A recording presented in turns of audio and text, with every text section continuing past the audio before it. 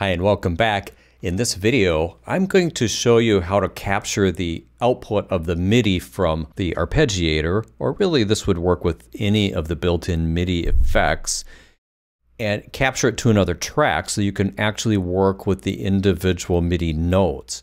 So it's not obvious how this works, but you can basically re-record it. So I'm going to go back through kind of the setup, create an arpeggiator so that I've got something playing back, and then we're going to capture the output of that arpeggiator so you can see all of the individual notes. So let's start with the MIDI clip. I've got the 4OSC synth loaded up. I'm not going to put the arpeggiator in quite yet, but let's use a pattern generator and let's uh, come up with a chord progression. We'll use um, four bar chord progression. I'll just I'll just pick something here. And it's already in there. So let's loop over this and play it back. So I'm going to click on the clip and we'll play back.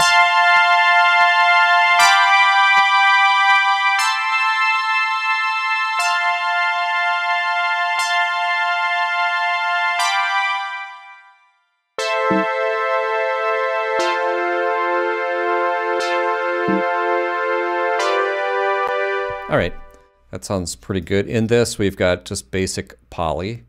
Now I'm going to grab the plugin object, grab from the effects, we've got the arpeggiator, and we've used this before. And I'll just uh, start playing back and I'll start playing around with the arpeggiator.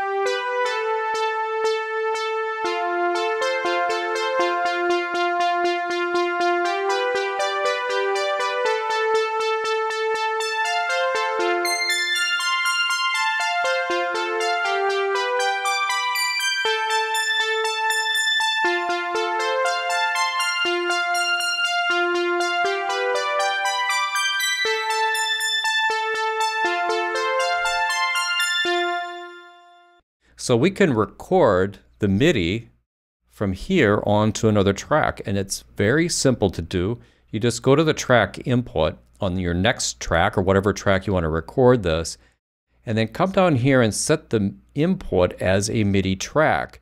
And the MIDI track we want is track one, because it's the only other track in the project.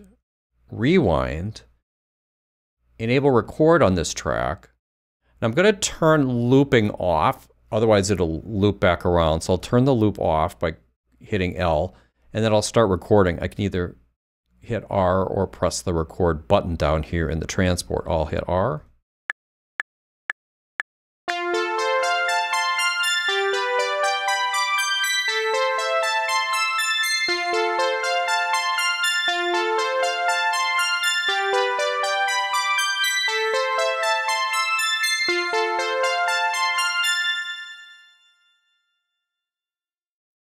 And there are my MIDI notes. I've got a little warning because there's nothing, no way to play this back, but I'm going to just drag this to the other track so we can play that back. This won't do anything. I'll just mute it anyway. This should be exactly the same thing.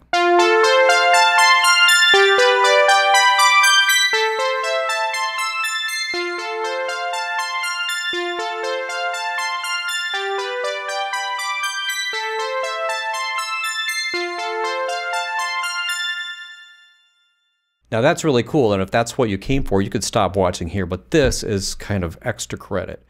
We're going to use an arpeggiator from Reason and see if this works. So we'll go up here, drag in from Reason Studios. Now Reason in version 11 allows you to use their rack as a plugin, and Reason has very cool players such as the arpeggiator, and some other things. And so we're going to go up into this, load reason. And here's the reason rack, just use other devices. And under players, there's all these things that work alike the built-in arpeggiator, but these are just, they just have their own flavor. So we're going to load the Reason dual arpeggiator, which looks like this. And now I'll put the loop back on and play back.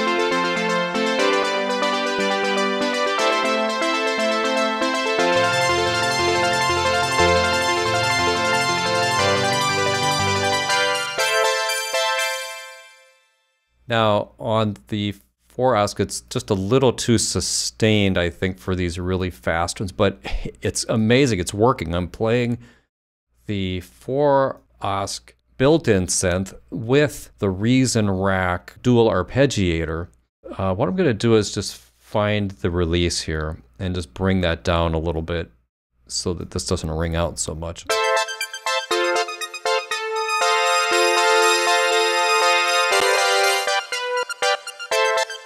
All right, let's try something else.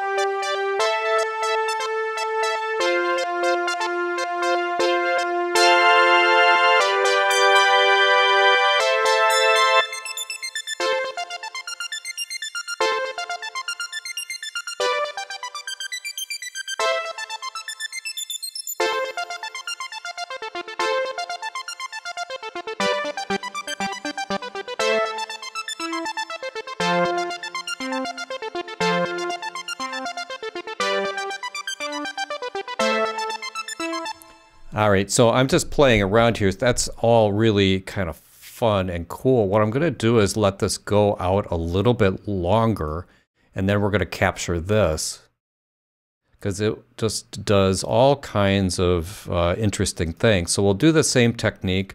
We'll rewind it. We have the thing all, all is already set up. So I'm going to let it run. I'll turn the loop off again so that it plays out past the end of that, and then we'll hit record.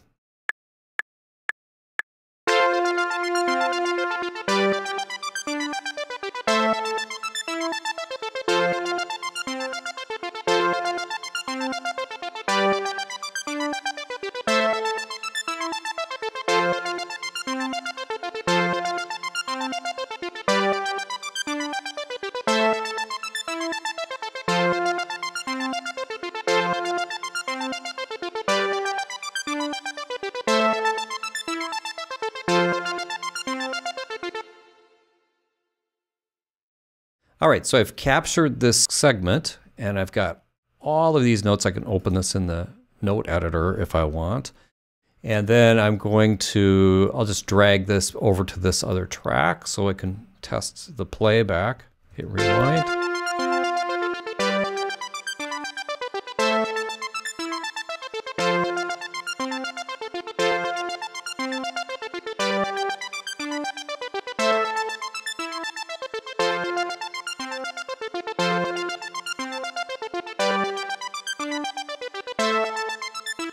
So all of our little notes are in there. All of those things can then be used to be edited to take the production on to the next level.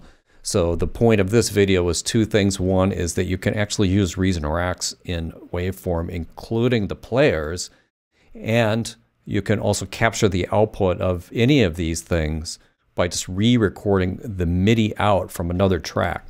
So I thought that was really cool. Thanks for watching. I'll see you in another video very soon.